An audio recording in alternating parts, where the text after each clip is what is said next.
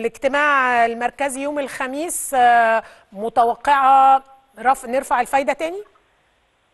بالطبع في توقع إن إحنا ممكن نميل إلى ارتفاع إلى رفع الفايدة وده الأمر ده بيرجع لارتفاع معدلات التضخم آه، اللي إحنا متوقعينها آه، إحنا واصلين 24 ونص آه، أو 24 و4 من عشرة آه، نهاية ديسمبر مقابل 21 ونص نهاية نوفمبر ونتوقع إن الأرقام تزيد فيعني معظم التوقعات تتجه لارتفاع الفايدة. انت مؤيدة لهذا الاتجاه.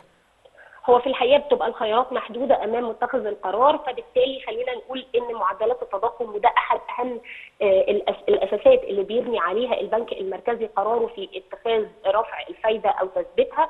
أعتقد إن مع ارتفاع أحجام التضخم آه، من المتوقع إن إحنا نشوف ارتفاع آه، الفايدة خلال كام بقى؟ متوقعة كام يوم الخميس؟ في الحقيقة أنا مش متوقعة رفع رفع كبير أنا متوقعاه من واحد ونص ل 2% هو 2% مش كتير ده كتير قوي 2% بالنسبة ده كتير كتير. معدلات التضخم كتير. كبير لمعدلات التضخم آه، هيبقى ده الخيار المطروح.